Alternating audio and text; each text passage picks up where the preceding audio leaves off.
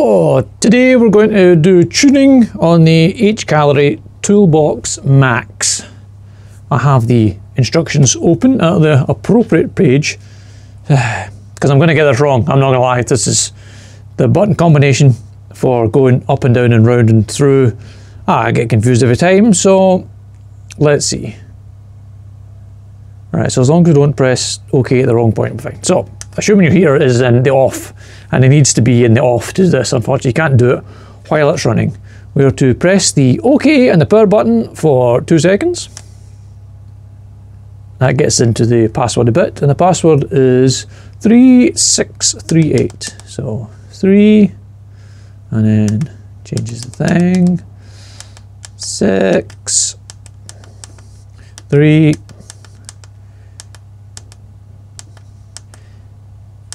eight, and then press OK to get into it.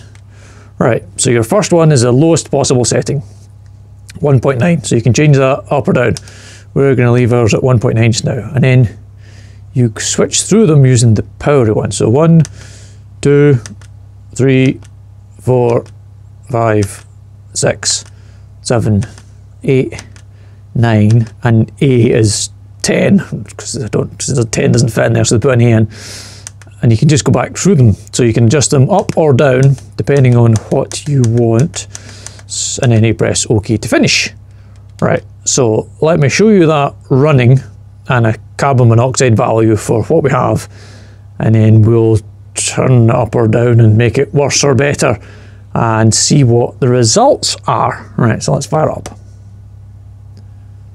So fire up and we'll let it run up to power level 10 and once it's stabilized we'll take a reading and I'll bring you back once it's up at, up at 10.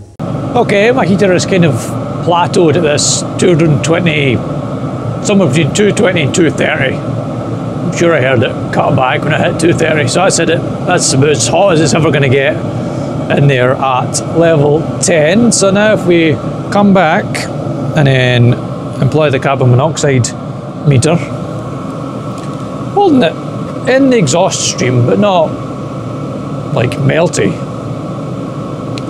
So we've got 30-ish parts per million, depending where I hold it. You also have to make sure you don't heat the end of that up because that will skews your readings when it gives off uh, gas when it gets so hot. But yeah, somewhere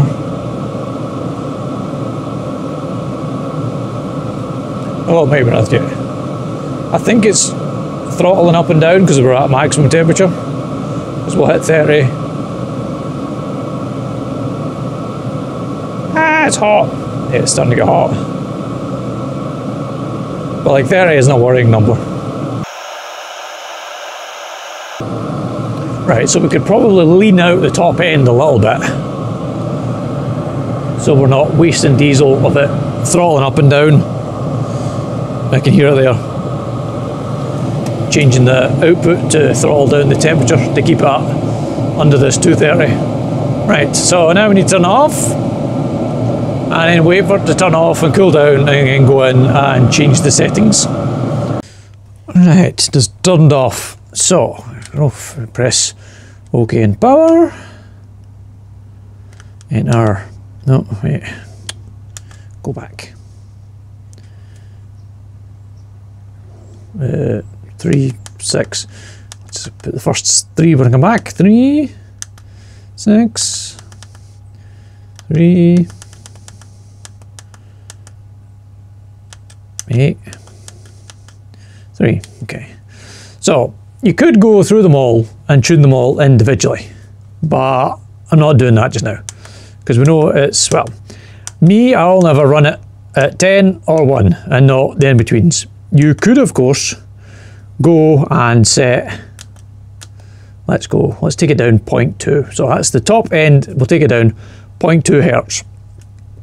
And as I say, you could go through them all and start at 1 and then wait for the temperature to settle, take a carbon monoxide reading, move up to the next power level, wait for the temperature to settle, take another carbon monoxide reading. So you could tune the entire curve of the heater on based on the output if you want to, do, Me, I'm just going to set a top and a bottom and call it good at that. And I've set the top. Well, whatever. The process is the same whether you're choosing the top or the bottom. You get the diesel up to temperature, reduce the power to the level you want to tune, and then take your carbon monoxide reading once the housing temperature has stabilised. Right, so now we're set in with slightly less top end fuel, so we'll turn it back on and take another carbon monoxide reading once it is up to temperature again, because we're currently at 46 degrees, we'll let it get up to 230, and then we'll see what the carbon monoxide reading is. Right, I'll bring you back. Okay, our diesel heater's hit the plateau of 230 odds. Let's go and take a carbon monoxide reading now. Of roughly the same spot.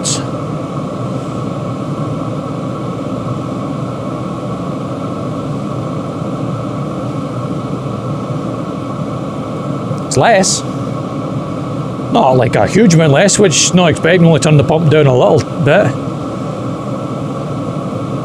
But yeah, it's going down a little bit. Not a lot, a little. It could still do with coming down a little bit more. But this is the exciting and time consuming process of tuning a diesel here. Uh, yeah, so you'd have to go back into settings, go through them all again, turn your diesel, turn the, the pump down another little bit.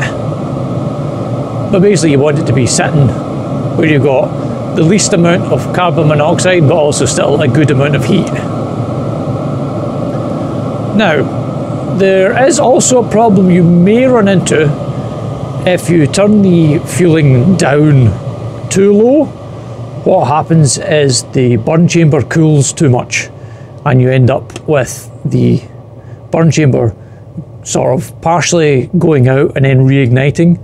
And this shows up in the carbon monoxide meter as a spike. It'll go down to a low number and then it'll rise back up to a big number and it'll go down again, it'll go back up and then down. And this is when you've got it set too low. So initially, if you've got a high reading that's staying high, that's a good sign you've got simply too much fuel and you can take it down a bit. But if you're getting an all over the place reading of up and down and up and down on the carbon monoxide, it's probably set too low. So I would try turning it up a bit to see if you can get the burn chamber to stay hotter and keep the, the burn going and keep the diesel uh, vaporized and burning efficiently. But yeah, so you find that more to be at the bottom end of tuning when people see a, a high reading of, let's say, 40 and think, oh, uh, in, or they take a reading but just a quick reading and it shows a high number and they don't sit and watch and wait for to see if it goes up and down. Sometimes you can hear in the burn chamber it will go boom, boom, boom on, you know, on and off, you can hear it. But tuning the high end is a lot easier because it stays hot and gets hot faster and stays there and your adjustments show up quicker. Would be nice if you could do it on the fly, but here we are, you have to turn it off and program it, turn it back on, wait for the heat up. So it's quite a long process to do. But if it gets your heater running efficiently, then that's kind of what you want. And I'm hoping that once you've set it, and then when it uses its altitude mode, it adjusts those values and reduces your set values by whatever amount it decides. Again, that's another test. Any comments, questions, anything like that, please leave them down below. I will try my very best to answer them. And as always, thanks for watching.